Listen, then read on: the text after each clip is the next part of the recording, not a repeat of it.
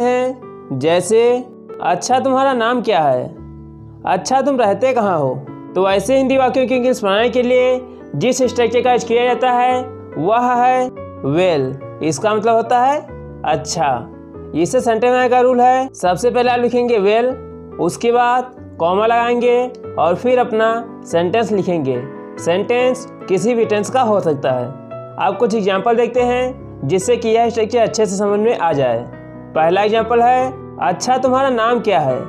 तो इसकी इंग्लिश होगी well what is your name well what is your name अगला एग्ज़ाम्पल अच्छा एक बात बताओ, क्या तुम कल आ सकते हो? तो इसकी इंग्लिश होगी well tell me one thing can you come tomorrow well tell me one thing can you come tomorrow अगला एग्ज़ाम्पल अच्छा तुम कहाँ रहते हो? तो इसकी इंग्लिश होगी well where do you live well where do you live अगला स्ट्रक्चर हमें अपनी डेली लाइफ में ऐसे सेंटेंस जो बोलने पड़ते हैं, जैसे, इसमें कोई कहने वाली बात नहीं है कि अक्षय कुमार एक एक्टर हैं। इसमें कोई कहने वाली बात नहीं है कि हमें कड़ी मेहनत करनी चाहिए। तो जिन सेंटेंस में हमें बोलना होता है, इसमें कोई कहने वाली बात नहीं है। तो ऐसे हिंदी वाक्यों की इंग्लिश बनाने के लिए, जिस स्ट्रक्चर का यूज़ किया जाता है वह है इट गोज विदाउट सेइंग इसका मतलब होता है, इसमें कोई कहने वाली बात नहीं है। इट मीन्स कि अगर आप कोई ऐसी बात बता रहे हैं कि जिसके बारे में सबको पता है तो वे आपसे कहेंगे, इसमें कोई कहने वाली बात नहीं है। और इसकी इंग्लिश बनाने के लिए इट गोज विदाउट सेइंग का यूज़ किया जाता है। इससे सेंटेंस का रूल है। सबसे पहले आप लिखेंगे इट गोज विदाउट सेइंग उसके बाद डैड लगाएँगे और फिर अपना सेंटेंस लिखेंगे। सेंटेंस, टेंस के अनुसार किसी भी टेंस का हो सकता है। आप कुछ एग्ज़ाम्पल देखते हैं, जिससे कि यह स्ट्रक्चर अच्छे से समझ में आ जाए। पहला एग्ज़ाम्पल है, इसमें कोई कहने वाली बात नहीं है कि हमें कड़ी मेहनत करनी चाहिए। इट मीन्स कि ये बात हमें पहले से ही पता है कि हमें कड़ी मेहनत करनी चाहिए। तो इसकी इंग्लिश होगी it goes without saying that we should work hard it goes without saying that we should work hard अगला एग्ज़ाम्पल इसमें कोई कहने वाली बात नहीं है कि अक्षय कुमार एक एक्टर हैं। इट मीन्स कि हमें पहले से ही पता है कि अक्षय कुमार एक एक्टर हैं। तो इसकी इंग्लिश होगी it goes without saying that Akshay Kumar is an actor it goes without saying that Akshay Kumar is an actor अगला एग्ज़ाम्पल इसमें कोई कहने वाली बात नहीं है कि मैं तुम्हारी हेल्प करूँगा। तो इसकी इंग्लिश होगी it goes without saying that I will help you it goes without saying that I will help you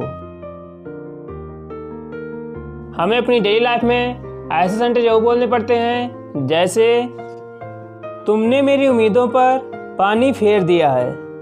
उसने आपके प्रयासों पर पानी फेर दिया है। तो ऐसे हिंदी वाक्यों की इंग्लिश बनाने के लिए जिस यूज़ किया जाता है, वह है थ्रो कोल्ड वाटर ऑन इसका मतलब होता है पर पानी फेरना। आप कुछ एग्ज़ाम्पल देखते हैं जिससे कि यह स्ट्रक्चर अच्छे से समझ में आ जाए। पहला एग्ज़ाम्पल है, तुमने मेरी उम्मीदों पर पानी फेर दिया। तो इसकी इंग्लिश होगी you have thrown cold water on my hopes you have thrown cold water on my hopes अगला एग्ज़ाम्पल उसने मेरे सपनों पर पानी फेर दिया है।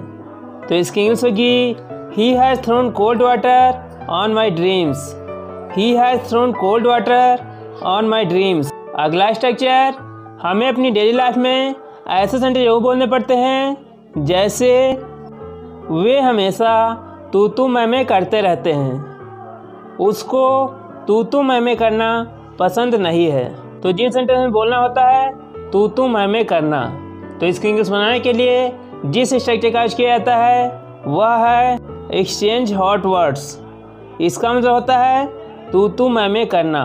इट मीन्स कि छोटी छोटी बातों पर झगड़ते रहना। आप कुछ एग्ज़ाम्पल देखते हैं, जिससे कि यह स्ट्रक्चर अच्छे से समझ में आ जाए। पहला एग्ज़ाम्पल है, वे हमेशा तू तू मैं मैं करते रहते हैं। इट मीन्स कि वे छोटी छोटी बातों पर झगड़ते रहते हैं। तो इसकी इंग्लिश होगी, they always exchange hot words. They always exchange hot words. अगला एग्ज़ाम्पल उसको तू तू मैं करना पसंद नहीं है।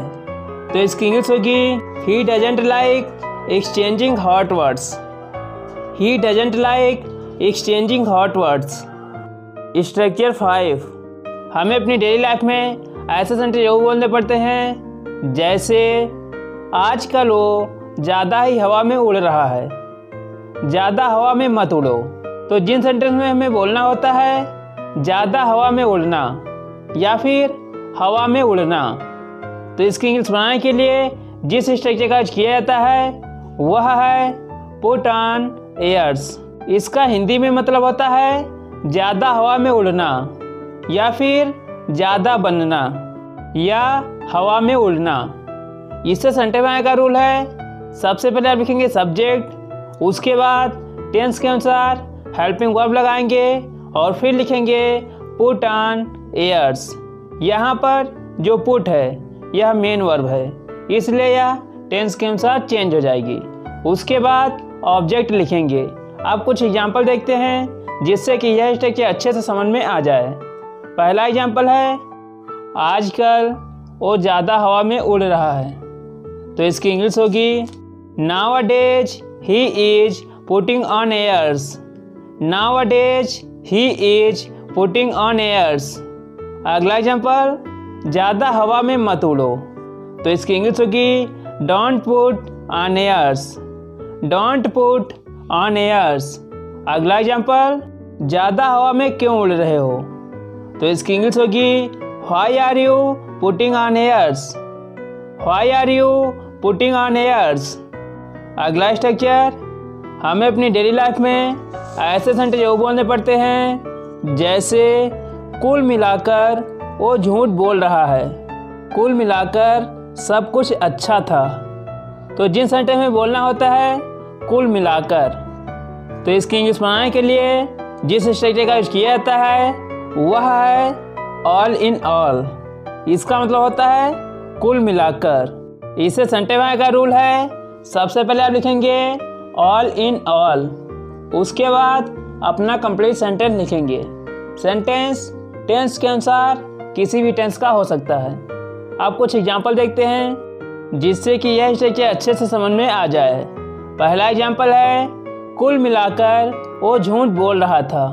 तो इसकी इंग्लिश बनाने के लिए सबसे पहले आप लिखेंगे ऑल इन ऑल उसके बाद सेंटेंस लिखेंगे, जो कि है, वो झूठ बोल रहा था। तो इसकी इंग्लिश होगी he was telling a lie all in all he was telling a lie अगला एग्ज़ाम्पल कुल मिलाकर सब कुछ अच्छा था। तो इसकी इंग्लिश होगी all in all everything was all right all in all everything was all right अगला एग्ज़ाम्पल कुल मिलाकर हमने बहुत इन्जॉय किया। तो इसकी इंग्लिश होगी all in all we enjoyed a lot all in all we enjoyed a lot structure seven मैंने तो बस यूँ ही पूछा था। मैं तो बस यूँ ही वहाँ गया था। मैंने तो बस यूँ ही उसे देखा था। तो जिन हिंदी वाक्यों में हमें बोलना होता है तो बस यूँ ही। तो ऐसे वाक्यों को इंग्लिश में बोलने के लिए एक एडवांस इंग्लिश स्ट्रक्चर का यूज़ किया जाता है, जो कि है जस्ट कैजुअली इससे सेंटेंस का रूल है, सबसे पहले आप लिखेंगे अपना सब्जेक्ट उसके बाद जस्ट लगाएँगे और फिर वर्ब की सेकेंड फॉर्म लिखेंगे। और उसके बाद ऑब्जेक्ट लिखेंगे और फिर कैजुअली लगाएँगे। मैं तो बस यूँ ही वहाँ गया था। तो इसकी इंग्लिश होगी I just went there casually I just went there casually अगला एग्ज़ाम्पल मैंने तो बस यूँ ही उसे देखा था. तो इसकी इंग्लिश होगी I just saw her casually I just saw her casually